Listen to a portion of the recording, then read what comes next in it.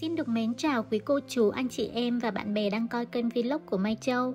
Ngày hôm nay Mai Châu xin chia sẻ về thông tin xin visa đối tác mới nhất năm 2022 cho các cô chú, anh chị em và bạn bè tham khảo nhé. Đầu tiên, để biết thông tin chính xác về điều kiện, yêu cầu xin visa, thẻ cư trú năm 2022, các bạn vào trang web chính thức của IND, đổi sang ngôn ngữ tiếng Việt để dễ hiểu hơn nhé. Bước 2, các bạn chọn mục giấy phép cư trú, sau đó chọn gia đình và đối tác. Ở mục gia đình và đối tác, các bạn chọn mục đầu tiên, giấy phép cư trú cho đối tác. Nếu anh chị em và bạn bè có nhu cầu tham khảo thêm về việc xin visa cho các trường hợp khác thì có thể tham khảo những mục ở phía bên dưới nhé.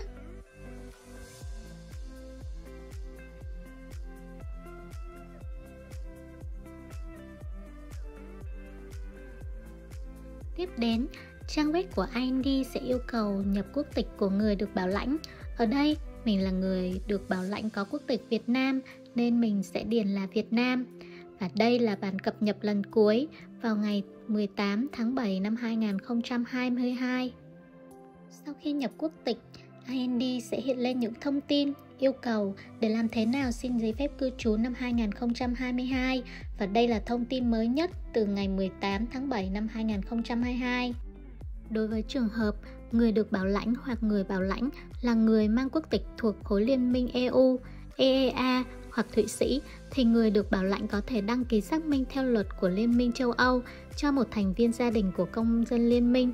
Ở đây mình chia sẻ về thông tin xin thẻ cư trú của người được bảo lãnh mang quốc tịch Việt Nam, người bảo lãnh là người có quốc tịch Hà Lan nhé. Để xin thẻ cư trú 5 năm thì bạn và người bảo lãnh của bạn phải đáp ứng được các yêu cầu mà IND đưa ra. Thứ nhất, bạn và người bảo lãnh phải đáp ứng được các yêu cầu chung áp dụng cho tất cả mọi người. Yêu cầu chung này bắt buộc bạn và người bảo lãnh cho bạn phải có hộ chiếu hợp lệ. Trong trường hợp bạn muốn đem theo một đứa trẻ đến Hà Lan, bạn phải là cha hoặc mẹ hợp pháp của đứa trẻ đó. Bạn và người bảo lãnh cho bạn đều không vi phạm trật tự an ninh quốc gia và bạn phải điền vào giấy chứng nhận bạn đã từng phạm tội hay chưa. Sau khi đến Hà Lan, bạn phải làm xét nghiệm lao phổi. Bạn được miễn làm xét nghiệm nếu bạn đến từ các quốc gia có trong phục lục được miễn xét nghiệm sau. Tuy nhiên, Việt Nam là nước có tỷ lệ lao phổi cao nên nếu bạn đến từ Việt Nam giống như mình thì bạn phải đi xét nghiệm lao phổi sau khi đến Hà Lan. Như bạn có thể thấy, trong danh sách này không có tên quốc gia Việt Nam nên khi đến Hà Lan, các bạn sẽ nhận được thông báo đi khám lao phổi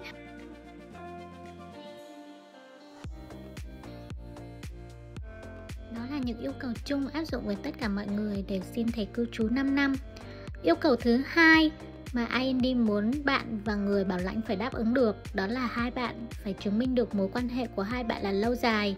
Đối với trường hợp đã kết hôn thì phải có giấy đăng ký kết hôn hợp pháp.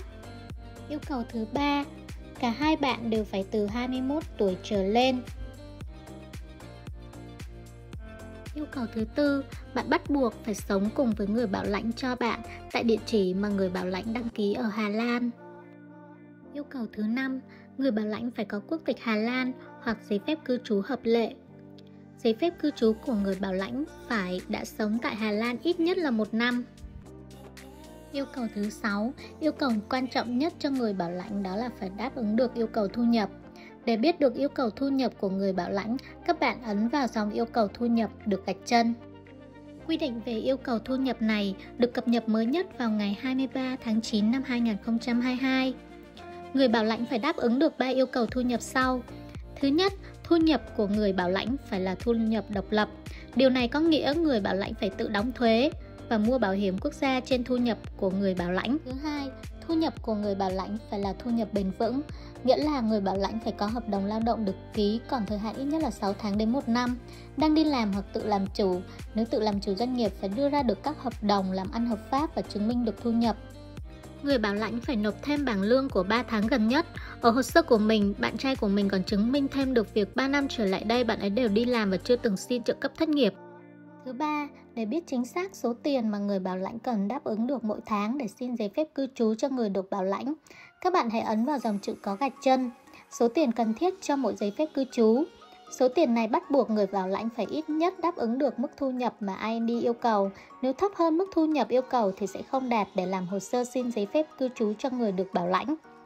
Ở đây có rất nhiều mục để các bạn tham khảo về mức thu nhập của người bảo lãnh phải đạt được.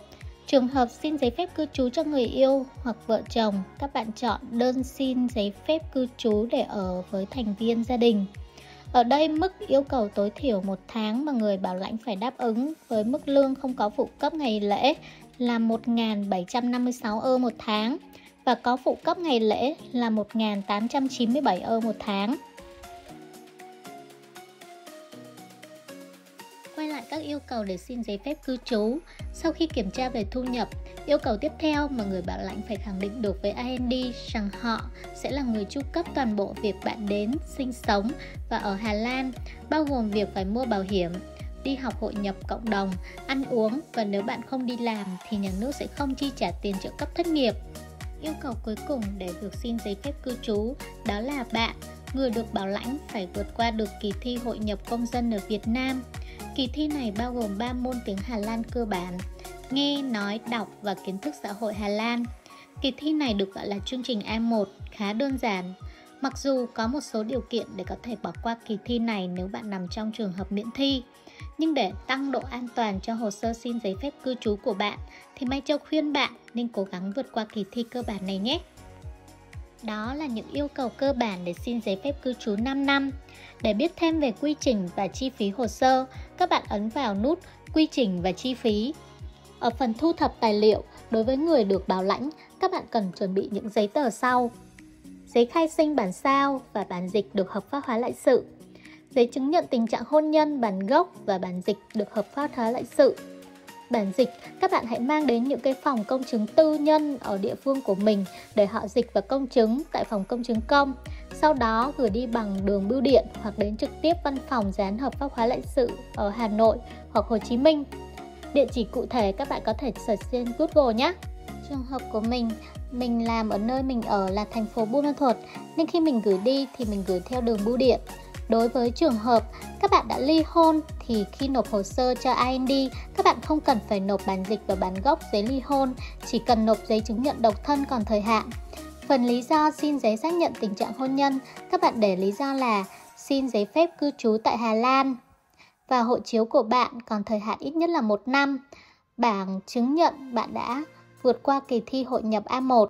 Về phía giấy tờ người bảo lãnh thì chỉ cần chứng minh được thu nhập những giấy tờ mà IND yêu cầu ở phần yêu cầu chung. Giấy tờ người được bảo lãnh cần phải nộp phải được dịch bằng tiếng Hà Lan, tiếng Anh, tiếng Pháp hoặc tiếng Đức. Nhưng để thuận tiện hơn, các bạn hãy yêu cầu bên dịch vụ dịch ra tiếng Anh nhé. Sau khi chuẩn bị xong giấy tờ, người bảo lãnh cho bạn có thể gửi hồ sơ online hoặc bằng đường bưu điện. Ngoài ra, bạn, người được bảo lãnh cũng có thể nộp trực tiếp ở lãnh sự quán Hà Lan ở Việt Nam. Chi phí đăng ký xét duyệt hồ sơ là 207 euro, phía người bảo lãnh sẽ thanh toán khoản chi phí này. Khi nhận được khoản thanh toán chi phí xét duyệt hồ sơ, IND sẽ có 90 ngày để quyết định về hồ sơ xin giấy phép cư trú của bạn. Số ngày này có thể được kéo dài hơn trong trường hợp IND quá bận hoặc cần xác minh thêm về giấy tờ của bạn và người bảo lãnh. Trường hợp của mình khi nộp hồ sơ vào ngày 23 tháng 2 năm 2022 nhưng đến hạn ra quyết định cuối cùng là ngày 7 tháng 6 năm 2022, IND đã gia hạn thêm 30 ngày và xin thêm thông tin về mối quan hệ của tụi mình. Sau đó đến ngày 21 tháng 7 năm 2022 thì họ mới giải quyết xong trường hợp của mình. Wendy sẽ đưa ra quyết định có thể là tiêu cực hoặc tích cực trong trường hợp bạn bị từ chối nhưng bạn cảm thấy lý do IND đưa ra từ chối không thỏa đáng, bạn có thể phản đối quyết định của IND trong vòng 2 tuần. Ở mục 7 và 8 dành cho khi bạn đã được duyệt thành công hồ sơ xin giấy phép cư trú của mình để đến Hà Lan. Phần này mình sẽ làm riêng một vlog nhé. Sau khi tham khảo xong về yêu cầu chi phí để xin giấy phép cư trú 5 năm tại Hà Lan, các bạn có thể ấn vào phần đơn đăng ký để xem nội dung của đơn xin MBV nhé. Phần này, người bảo lãnh có thể nộp trực tuyến.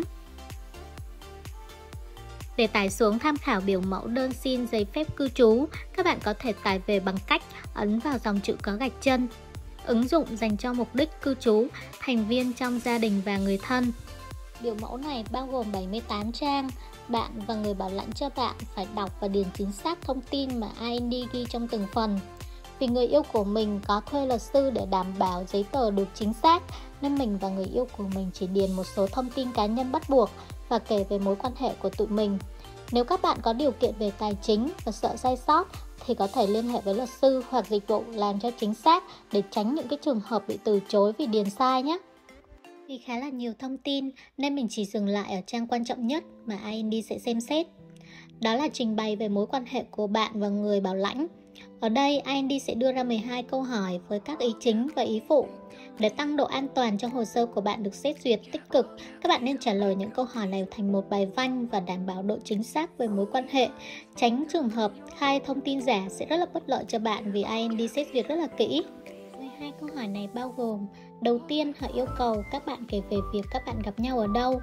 Ở trường hợp của tụi mình, bọn mình quen nhau qua Facebook, nên ở câu đầu tiên tụi mình đã trình bày là tụi mình biết nhau qua Facebook và bắt đầu nói chuyện vào ngày tháng năm nào. Có một số anh chị em sợ rằng khi mà nói với IND rằng là mình quen nhau qua mạng xã hội ấy thì cơ hội đậu hồ sơ sẽ không cao thì không phải nhé. Mình quen nhau bằng cách nào thì mình hãy nói thành thật điều đó với anh đi nhé. Khi chuẩn bị làm hồ sơ, tụi mình cũng tham khảo ý kiến của luật sư và họ hoàn toàn đồng ý về việc tụi mình sẽ kể thật mối quan hệ của mình. Ở câu thứ hai, thì khi bọn mình quen nhau qua Facebook thì tụi mình thường xuyên nhắn tin, nói chuyện và comment trên Facebook và từ đó thì tụi mình có tình cảm với nhau hơn. Sau một thời gian nói chuyện và chia sẻ với nhau về công việc, cuộc sống thì tụi mình quyết định là sẽ bắt đầu một mối quan hệ lâu dài vào ngày 11 tháng 4 năm 2021 và tụi mình quen nhau vào thời gian từ năm 2020 đến năm 2021 là thời kỳ dịch bệnh corona nên tụi mình không thể có cơ hội để gặp nhau. Và IND cũng rất là hiểu vấn đề yêu xa này nên họ có để một dòng để cho tụi mình trình bày vì sao tụi mình chưa thể gặp nhau. Đối với trường hợp yêu xa chưa kết hôn thì việc chưa gặp nhau nhưng vẫn xin được giấy phép cư trú cho bạn trai, bạn gái của mình là chuyện bình thường nha các bạn. Nên nếu các bạn ở trong trường hợp giống tụi mình thì hãy cứ mạnh dạn kể về câu chuyện của mình nha.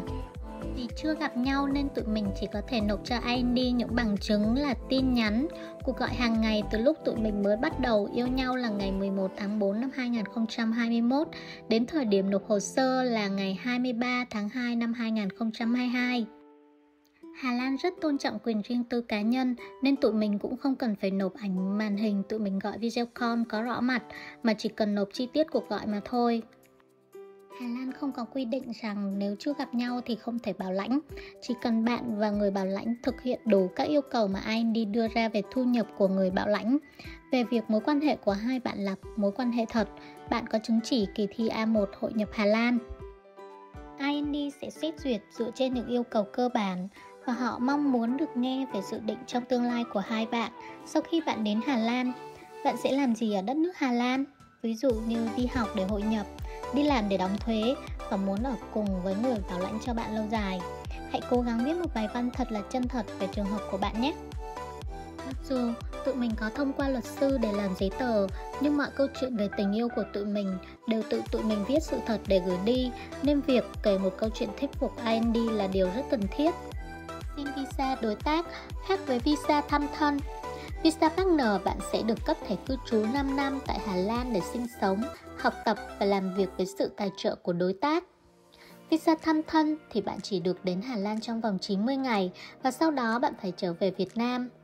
Và ở visa thăm thân, nếu như hai bạn không có điều kiện để gặp nhau trước khi xin visa thăm thân thì tỷ lệ đậu hồ sơ sẽ không cao như việc xin visa partner. Khi xin visa partner, bạn được sống ở Hà Lan 5 năm với thẻ cư trú. Nếu bạn và người tài trợ cho bạn không còn sống chung hoặc chia tay, thẻ cư trú của bạn sẽ không còn giá trị. Giống như việc sống thử ở Việt Nam vậy, nên bạn cũng không nên quá lo lắng về vấn đề này. Nếu như người yêu của bạn có thể về Việt Nam gặp bạn thì điều đó thật là quá tốt. Công việc của họ không cho phép họ nghỉ một thời gian dài thì bạn hãy cố gắng thông cảm cho người yêu của mình nhé. Hà Lan là một đất nước cực kỳ đáng sống, nên nếu như bạn và người yêu bạn đang yêu xa thì hãy cố gắng vượt qua mọi định kiến để ở bên nhau nhé. Mỗi cặp đôi sẽ có một câu chuyện riêng, nhưng đều phải đảm bảo là đó là sự thật và biết bám chắc những câu hỏi mà IND đưa ra. Video này mình làm vẫn còn rất là nhiều thiếu sót. Nếu như quý cô chú, anh chị em và các bạn có thông tin gì muốn biết thêm về việc xin giấy phép cư trú định cư tại Hà Lan thì có thể để lại comment dưới vlog này. Mai Châu sẽ trả lời trong tầm hiểu biết của mình. Xin cảm ơn và hẹn gặp lại trong những vlog tiếp theo.